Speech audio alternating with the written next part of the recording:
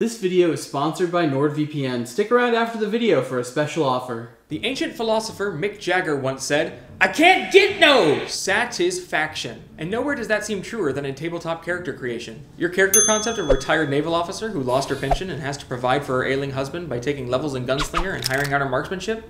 That's awesome. But is it actually better than your other super amazing idea of a jousting herald who takes a side job as an auctioneer and combines their resulting talents of inspiration and speed to become the world's first rap battle bard? The choices. If only you could play both at the same time. Well, lucky you, because in Pathfinder, there's rules for that.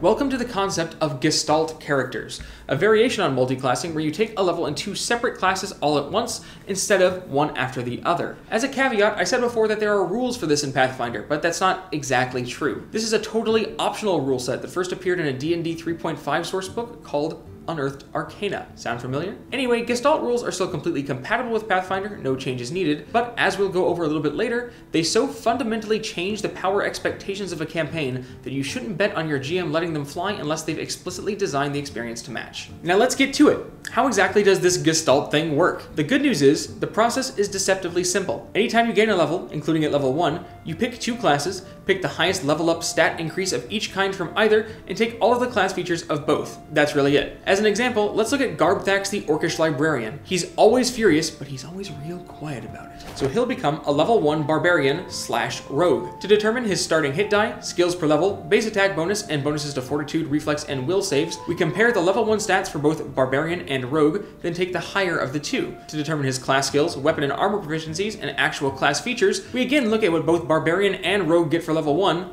but this time, we take it all. So Garbthax here ends up with a d12 hit die, 8 plus his obviously high, int skills per level, full BAB, strong progressions in both fortitude and reflex, proficiency in light and medium armor, and simple martial and roguey weapons, rage, fast movement, trap finding, 1d6 of sneak attack damage, and all these class skills. All that study obviously paid off. There are also a few finer points to keep in mind, but they're pretty intuitive. First, in the case of a character who gestalts into two spellcasting classes, treat everything relating to those classes spellcasting as separate. That's to say, you'd have two spell lists, two different numbers of spells known and spells per day, two different save DCs, all that jazz. Next, any class that has specific restrictions, like druids and metal armor, a wizard's arcane spell failure chance, barbarians needing to be unlawful, anything like that, those restrictions still apply their penalty, even if your other class, like, gives you a proficiency in it or whatever. Lastly, if you would gain the same class feature from both classes, like how both barbarian and rogue eventually pick up uncanny dodge, you take it from whichever class gives it earliest and ignore it entirely from the other one. Now that's all very exciting, but what do we actually do with it? As a very general guideline, there's two main ways to benefit from Gestalt. Either you use one class to shore up another class's weak points, or you pick two classes that together give you a huge variety of options. An example of the first might be a wizard slash barbarian mix that shores up the wizard's typically delicate HP and saves with the barbarian's d12 and strong fort. For the second, you might have a sorcerer slash oracle who wants to make sure they always have the right kind of spell for the job and seems to never run out for the day. If you're looking to play a character built around a specific feat chain, you can always add fighter to any other class and get all the feats you need and enjoy full BAB while you do it. One last way is to consider picking one class for in-combat needs and another for out-of-combat situations. Many classes, like the Barbarian and the Gunslinger, are utter powerhouses when it comes to murderizing, but really fall short on ways to affect the story without violence. Others, like the Investigator and Bard, are brimming with narrative agency tools, but wouldn't mind a little bit of a extra pound to their power. Obviously, Gestalt PCs are much more of a force to be reckoned with than your average single-classed adventurer, so a GM really needs to plan for how their NPCs and encounters are going to rise to the challenge. Encounters facing a Gestalt party should have a CR that's one or two higher than what a typical party would expect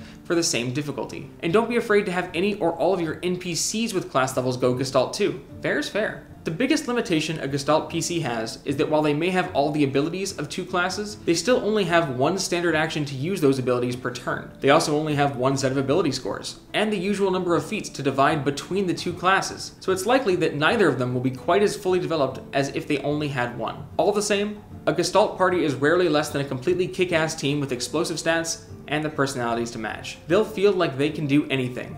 And you know what? They probably can. Ta-da!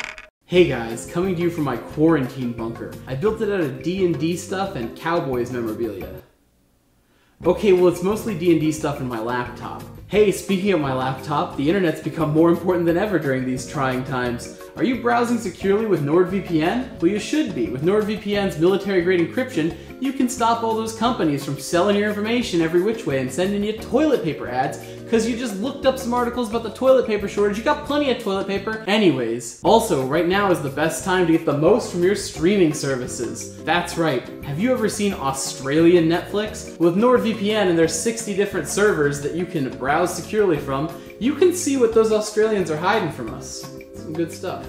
Right now, you can get 70% off a three-year subscription if you go to nordvpn.com slash doormonster. Or you can use the checkout code DOORMONSTER. Again, that's nordvpn.com slash DoorMonster for a great deal on some great security and content. So keep watching, keep playing D&D, and keep your internet safe and secure with NordVPN. You know I will. I think this fort needs some archer parapets. I got some 4th edition books somewhere. NordVPN.com slash DoorMonster for 70% off a three-year plan. And an additional month, absolutely free. And at the end of every one of these, there's rules for that. We like to do a roundup of comments from the previous video, which in this case involved the 5e rules for the spell jump. Most of the comments you had involved the restriction that you are not allowed to jump further than your movement speed per round, and how that kind of broke what we talked about. That is true. Um, uh, so there are two main ways to rule this, and I admit I kind of fall on one side, and if you fall on the other side, it's a bit of a problem. The way I rule it is that if you start a jump that goes further than your movement speed, that just locks you into the rest of that jump for your movement speed next round. Like if you start, if you can only move 30 feet around and you do a 60 foot jump somehow, you start that, you move 30 feet this round because it just takes you six seconds to clear that much, and we just pause with you hanging in the air, and it's fun, it's D&D, it's whatever. Um, and then you just complete the jump on this the next round. Uh, if your GM does not rule like that, then admittedly these tips might not work for you. However, a bunch of you had other suggestions that could help. For instance, the Step of the Wind Monk allows you to dash as a bonus action, and uh, if you do that, which I think it takes a ki point, you also double your jump speed. And so since we've already tripled our jump speed, that means every, all your jump uh, measurements are times six instead, so that's pretty cool. Uh, Tabaxi, as some of you pointed out, also get uh, 40 feet of movement just right off the bat, and they can use their next round's movement this round once per day. So that's pretty cool. If you would like to see the Gestalt rules I just talked about in action, feel free to check out our Gestalt campaign, Altered Egos, which I run on this channel. It is a bunch of superheroes let loose in a city.